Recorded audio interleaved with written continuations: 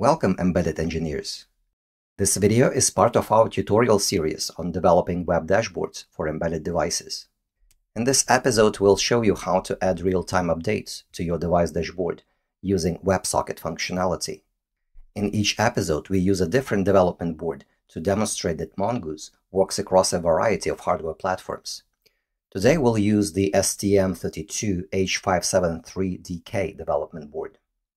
Plug the dev board into your workstation and visit mongoose.ws. Start a new design with the Mongoose Wizard, a visual dashboard builder. Select the target directory where the generated project will be stored and choose your target architecture. Choose Cube IDE and FreeRTOS. Click Next. Select the blank dashboard, click Next, then click Finish. We'll create two panels, one with a display value and another with a gauge control. Both will update in real time. The display value updates every 50 milliseconds and gauge updates every half second. These real-time updates are sent by the device over the persistent WebSocket connection established by the dashboard. Let's get started. Click on the Settings panel and enable WebSocket support. Add a container and place a panel inside. Change the panel's title delete any unnecessary elements inside the panel, leaving only one text control.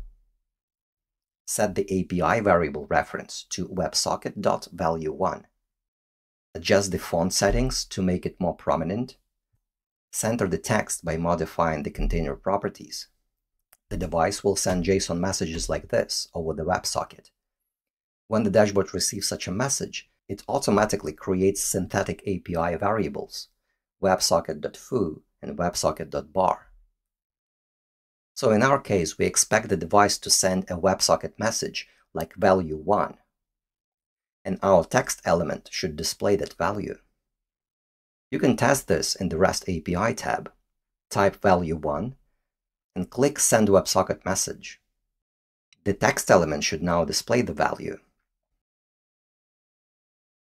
Now clone the panel change the title, add a gauge, and set its tick values from 0 to 100.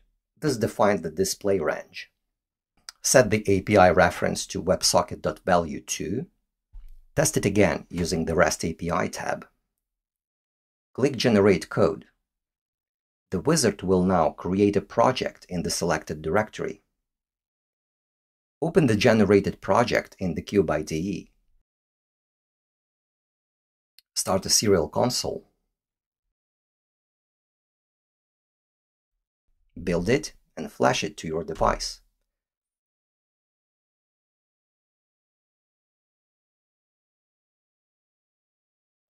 At this point, we can see the dashboard served by our device, but the controls are not yet updating. We need to add WebSocket handlers to send the data.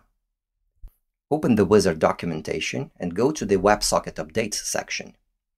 It explains how WebSocket updates work and provides a code sample that installs two WebSocket timers, exactly what we need.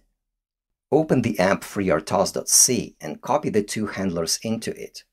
Modify the first handler to generate a random value from 0 to 1000 and report it as value 1. Modify the second handler to generate a random value from 0 to 100 and report it as value 2. Call mongoose add WS handler for both handlers. Use a 50 millisecond interval for the first one and 500 millisecond interval for the second. Rebuild and reflash the firmware. Now our dashboard shows these values updating in real time. Congratulations! You've learned how to implement real-time updates using WebSockets. Hit like and subscribe if you found this useful.